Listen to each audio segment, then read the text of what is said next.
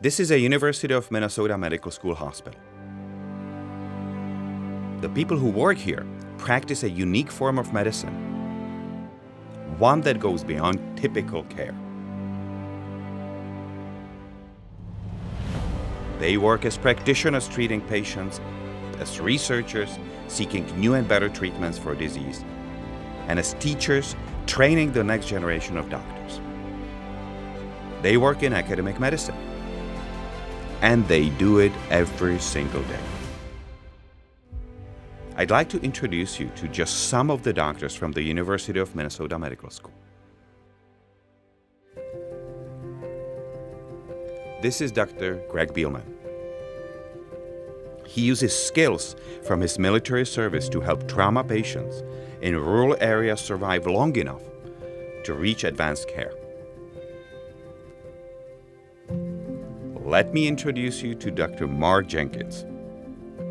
For the last 30 years, he has helped us understand the human immune system and has taught the students who will advance that understanding over the next 30 years.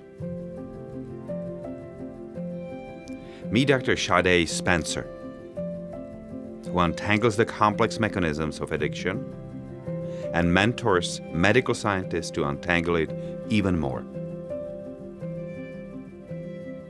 Introducing Dr. Kevin Diebel.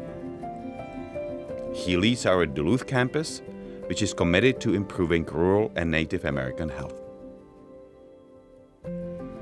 This is Dr. Dimitri Yannopoulos. He is a doctor who works with the university engineers to make critical heart technology portable. He delivers life saving technology to cardiac arrest patients in the ER. Or he brings the ER to them, expanding life saving medicine to greater Minnesota. Meet Dr. Abe Jacob, one of our pediatricians. When he's not treating our littlest patients, he works to make sure all our patients have a safe and complication free stay. This is Dr. Karim Sadak. He treats children with cancer. But his concern isn't limited to their childhood.